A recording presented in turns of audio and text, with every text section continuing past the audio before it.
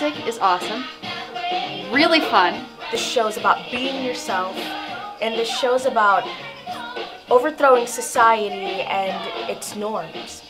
It's so fun to watch these girls who are in Juvie Hall and you get to see their inner rock star and you get to find out the cool backstories that they have and how they got here and how they're going to change and what they're going through. The show is about young love. It's about sticking it to the man. Change, love. Um, and it's about revolution and just kind of growing into yourself and getting the guts to stick up for yourself. We're really excited to be working on this new piece of musical theater. We want everyone to come see it.